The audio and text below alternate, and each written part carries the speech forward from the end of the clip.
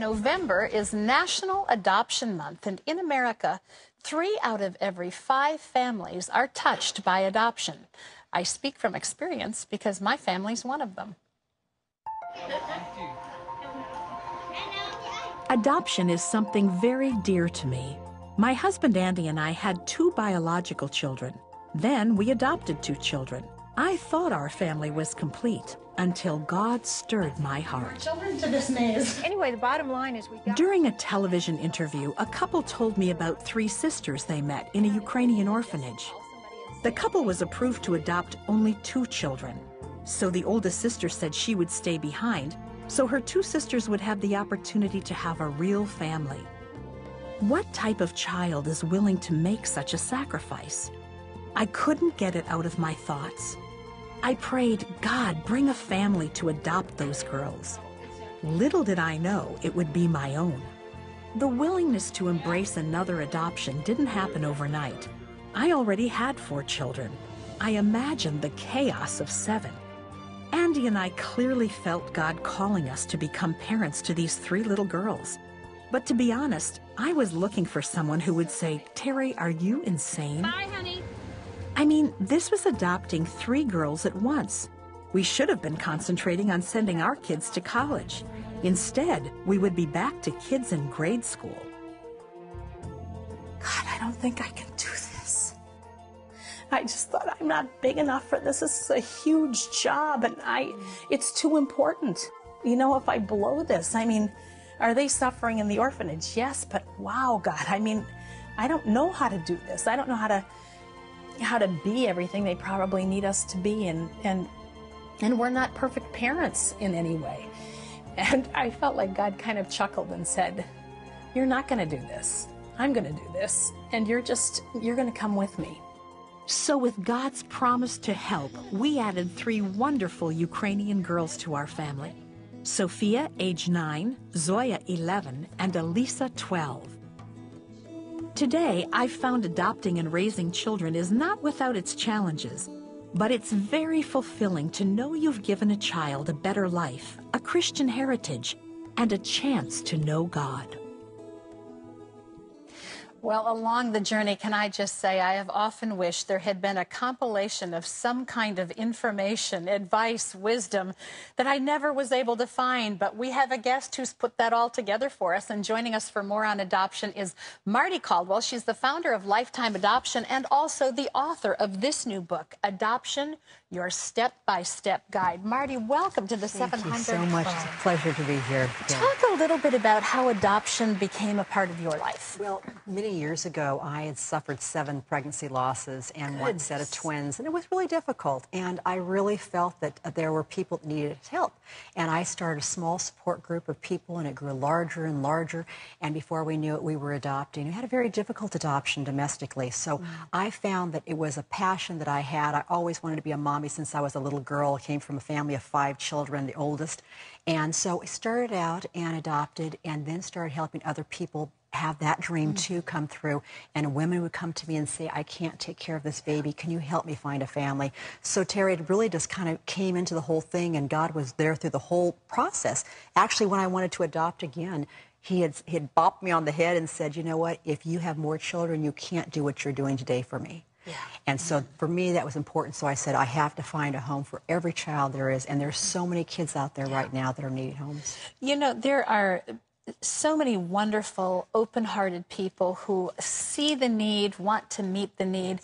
And, and when I say there are challenges that we've faced and that I know others have, I'm not suggesting people shouldn't do it, but it helps to know up front what you're going to be confronting, Expect. especially with adopting older children. What are some of the challenges of adopting? the challenge is that remember, every person on earth, we all have our own baggage, our own history. And so we have to be very open to that. And really, is the key. And that's why I've written the books and do teleconferences and stuff, because people need to learn prior to them taking that Yes. step what to expect. Not to f- be fearful, but to know about it. Do you know more people plan for their wedding, their remodel, their vacation than they do for their adoption? And that's really sad. So you're right. People need to know what's going to be the challenge of a newborn, older child, a transracial mm-hmm. adoption. And there's so much out there, and people, it's just a matter of asking and not being fearful to take the next step, but they need to take action steps every single day if they feel like they've been called to adoption. Well, and then there's the other side of the coin. I, I think uh, most loving people who know a child is in a precarious situation think, oh, we're going to go adopt this child. They're going to come and integrate into our family, have loving, grateful hearts, and yes. we're all going to be one big happy group. But there's a lot of acclamation for the child. It's the honeymoon stage, and you have to realize you have to look at your life through the child's um, eyes. Mm-hmm. And this is why I tell people when they're adopting internationally, you may be sleeping on a mat for a while yeah. and, and eating food that you're not familiar with, but become familiar with the language, the food, the culture prior to adopting so that there isn't a big change because it's going to be a change anyway. One little boy, uh, when he saw ice cubes the first time, screamed. He had never seen ice cubes. Mm-hmm. So international has some different ones than domestic adoption exactly. does.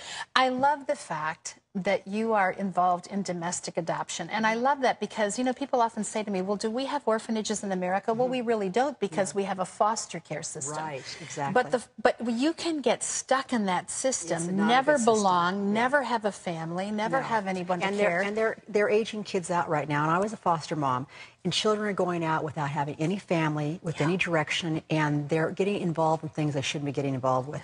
So I believe it's very important for me. I feel that I've been called to do domestic adoption. And right now we have children that are in utter poverty. Right now we've got over 400 women at Lifetime Center, uh, Adoption Center, looking at adoption. And yeah. these children, a lot of them have no food, they don't have the clothing.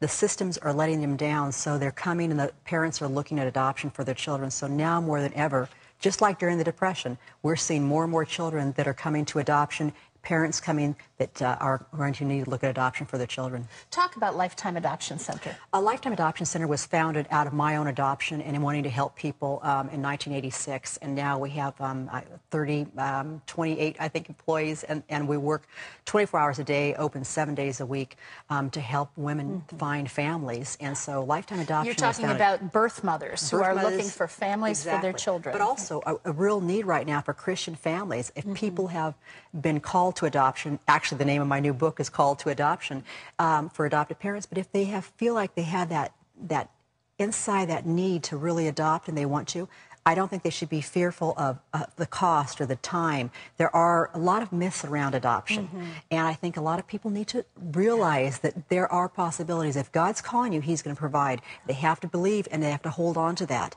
And there are support and there's resources out there. But many people just freeze they don't know where to go. I thought I was pretty knowledgeable about adoption, but as I read all of the reasons that a birth mother would place a child for mm -hmm. adoption, I was amazed. It was like almost a dozen of them, oh, yes. all very valid mm -hmm. and all very selfless. If you've seen a mother mm -hmm. place a child for adoption, you know the, the heartache and the pain involved in yeah, that. Exactly. And then there are three different kinds of adoption that people can engage in in the United right. States. There is open adoption, semi-open adoption, or closed adoption. And really, we're going towards semi-open to open adoption, where people have more contact. Birth mothers can choose the adopted family they want. A lot of them are choosing Christian families. They want to have their children after 9-11. We're seeing more and more people asking for families with faith and families that can provide an education for them. That's why they're doing this, because mm -hmm. they want a better life for their child, and they're sacrificing, very much like biblical times, yes. sacrificing for their child, for the betterment of the child. So uh, birth moms have to be honored, and I honor my birth mothers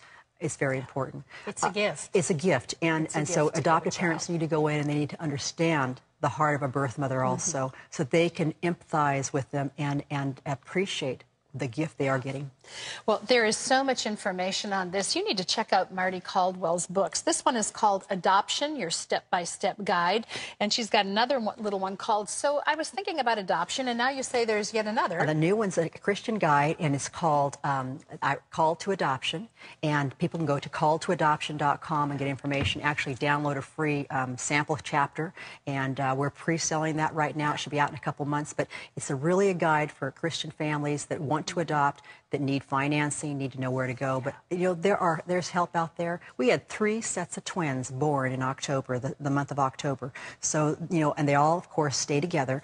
Um, what a wonderful blessing, and a lot. You'll see a lot around the holiday time. Oh, and there's such a need in this country to make a difference in the foster care system. Right. So, Christian families, open your doors, open your hearts. By the way, these books are available in stores nationwide. Thank you, Mardie, Thank for you what so you much. do. You make Pleasure, a complicated system very simple for us.